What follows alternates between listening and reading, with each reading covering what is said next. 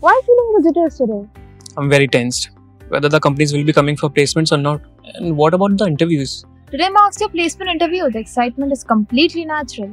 Well, I am pretty much nervous because I want to do it well. Why be stressed when you have 82% placement rate waiting for you at TMU? And that's not it. The highest package is reaching a whopping 60 lakh per annum, and that's just the beginning. Wow, the stats are really impressive. But I think When TMU has already conquered the challenge of securing the prestigious NAAC A grade, your journey at TMU guarantees you the best opportunities, especially when it's hosting India's first center of excellence in cybersecurity. wow, that's a great achievement. Exactly, and let's not forget the ICAR accreditation for BSc Honors in Agriculture makes you part of something truly exceptional. Amazing.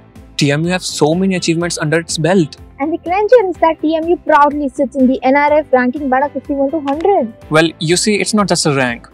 It's a symbol of excellence. So why not secure your spot in India's education legacy by enrolling today for academic session 2024?